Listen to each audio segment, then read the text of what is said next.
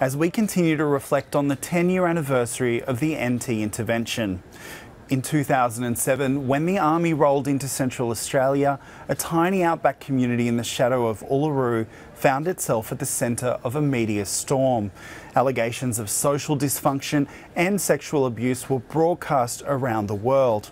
A decade on, and after a lengthy police investigation, there haven't been any follow ups on those prosecutions for child abuse.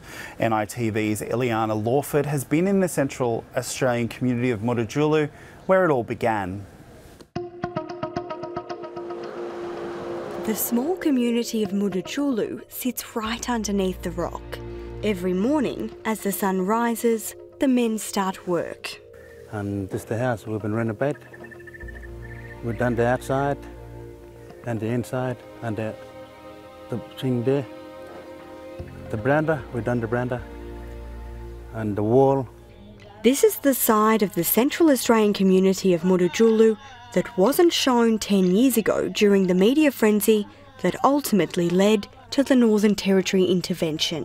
You know, this community was functional, it was a happy community, you know, there was no children at risk.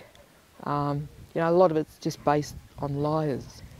In 2006, the ABC's Lateline program aired an interview with an anonymous man said to be a youth worker who lived in Mutitjulu. And you know, youth worker you know, kind of youth worker. It's more American. You know, yeah, it's like a mama. Huh? This man was Gregory Andrews. He was not a youth worker and did not live in the community. Andrews told Lateline Aboriginal men in Mutitjulu were trading petrol for sex with young girls and that children were being held against their will and traded between communities as sex slaves. Oh, you know, you can't stand up and watch holy things. Now, go Korea angara angara orin malakajo. Huh? I was just down down Karuban. How many stories? But Karuban angara all gonna jump or what? It's, it's the cruel people. They want to cruel crucify me. Jama, otherwise known as Sammy Wilson, was named in the Lateline story alongside a number of old police records detailing spent assault convictions attached to men in the community. He was the chairperson of Mutitjulu Community Incorporated.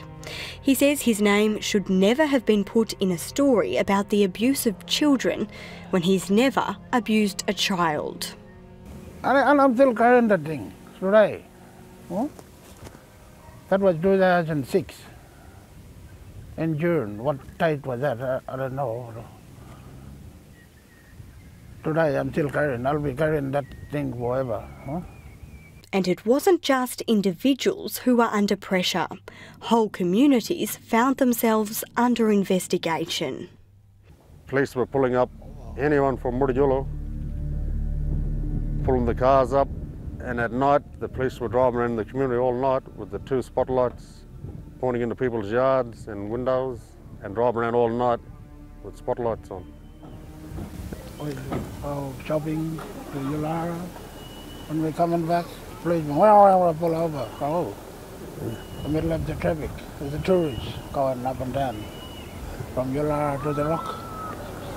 And only they was aiming the people from here. It was this story and its accusations which led to the Little Children Are Sacred report and later the NT intervention. It was not true. Um, it's something that you report in the major cities. The day the, you know, the implementation of the, you know, intervention was something I'll never forget. It was an experience of invasion. Yeah. Uh, it's something that, you know, was unnecessary. There was some family members who's already experienced um, a stolen generation, you know, removal, and it had a really big impact on them.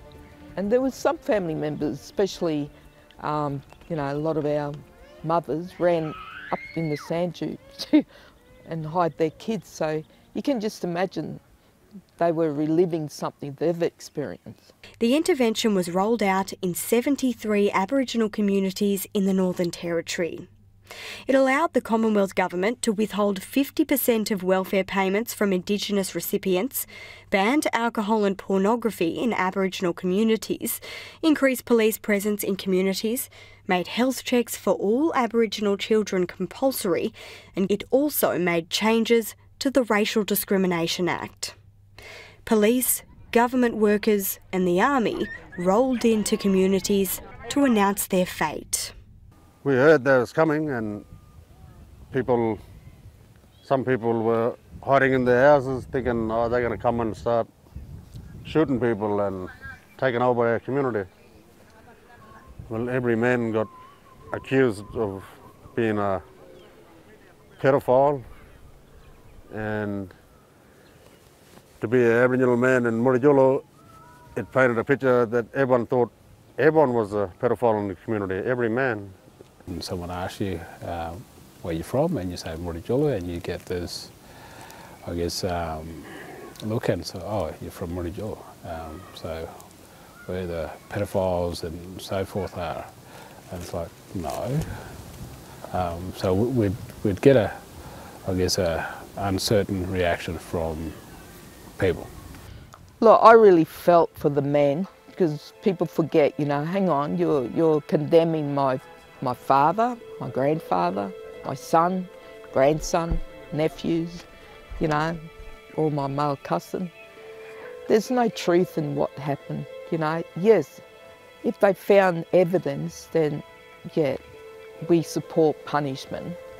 But to base it on lie, Not only were the men accused of being pedophiles, but everyone else was accused of harbouring them.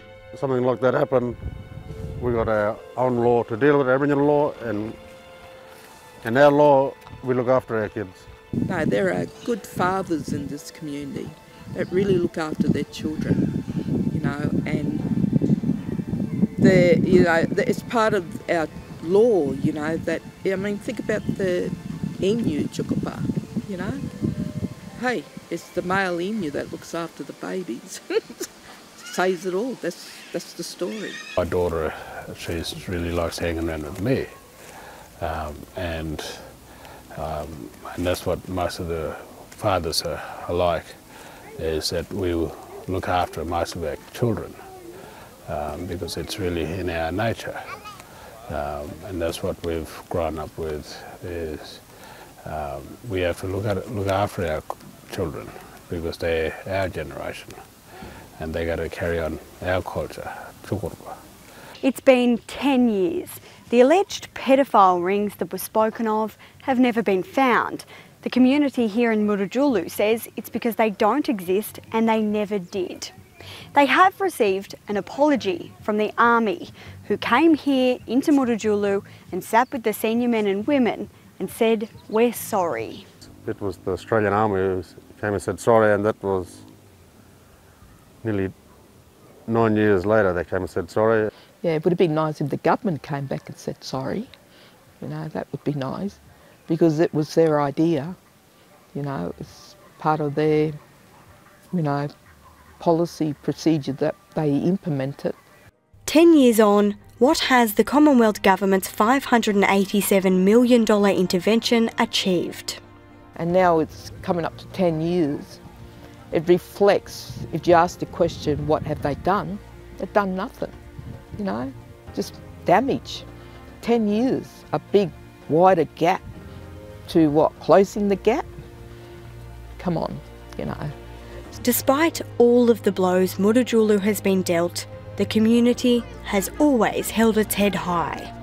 It's currently drawing up plans for $10 million worth of housing upgrades and new builds, designing a new cultural centre, and more.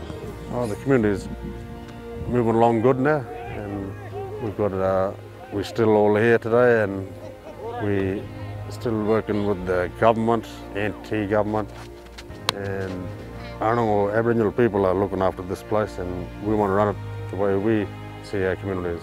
But one thing I've learned you know, living in Mutitjulu is that we're very forgiving people. You know, like I said earlier, we're always embracing, even if it's the same people. You know, people make mistakes. But one thing I could say with Anangu families and people, hey, we speak the truth because we can only tell the truth.